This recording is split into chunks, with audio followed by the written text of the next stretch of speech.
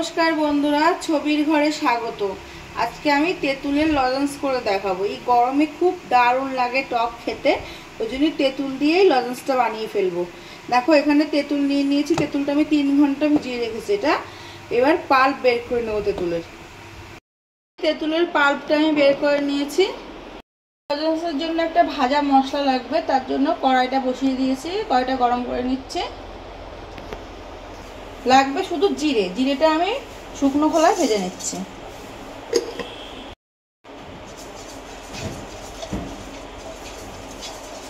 এটা আমার হালকা ভেজে নিয়েছি, এবার নামিয়ে গুঁড়ো করে নেব।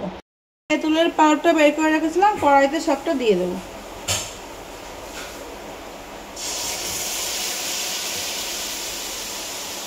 চিনি, প্রায় আড়াইশো চিনি লাগবে।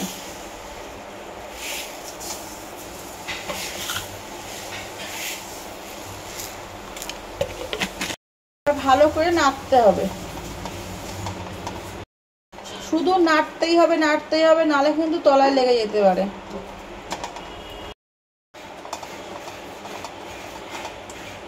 দেখো, এই যে জিরেটা আমি গুঁড়ো করে নিয়েছি।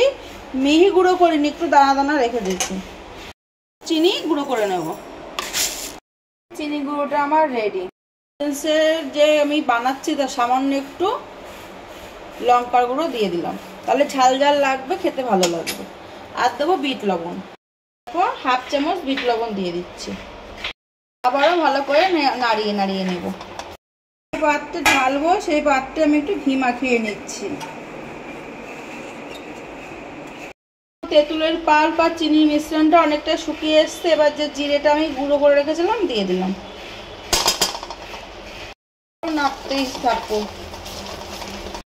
মিশ্রণটা অনেকটাই ঘন হয়ে গেছে। এবার লজেন্স করার জন্য রেডি কিনা? একটা পাত্রে জল নিয়েছি।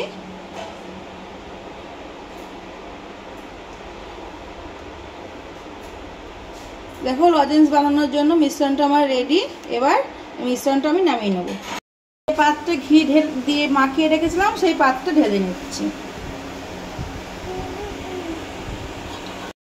তেঁতুলের মিশ্রণটা ঢেলে নিয়েছি, এবার ঠান্ডা করে নিয়ে ফিরে আসছি।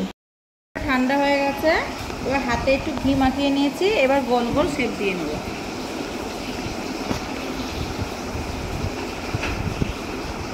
এ দেখো কি সুন্দর গোল হয়ে গেছে। যে যেমন শেপ চাও দিতে পারো, এবার যে চিনিটা গুঁড়ো করে রেখেছিলাম, এইভাবে মাখিয়ে নেব।